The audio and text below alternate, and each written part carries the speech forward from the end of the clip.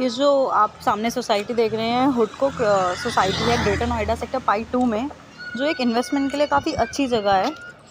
आप देख सकते हैं यहाँ पे आ, किस तरीके का आसपास का नियर बाय एरिया है। पाई टू एक अच्छा पॉश एरिया माना जाता है। आसपास सारी फैसिलिटीज़ हैं यथार्थ हॉस्पिटल के पास है पाई टू एरिया और सारी फैसिलिटीज़ आपका ये एकदम मिड में मान सकते हैं। इसके साइड एक साइड नॉलेज पार्क का मेट्रो स्टेशन है, एक साइड परी चौक का मेट्रो स्टेशन है।